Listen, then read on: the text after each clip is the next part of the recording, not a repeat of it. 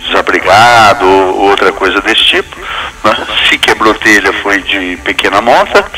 É, também falamos com o secretário da Agricultura, né? também deve ter tido algum, alguma perca ah, nessa faixa pequena, né? Sim. Mas acredito em danos também de pequena monta, algumas obras da, é, em andamento, estava fazendo aterro, você sempre acaba perdendo algum serviço, mas faz parte até porque essa chuva não estava nem previsto uma chuva nesse volume que caiu. Exato.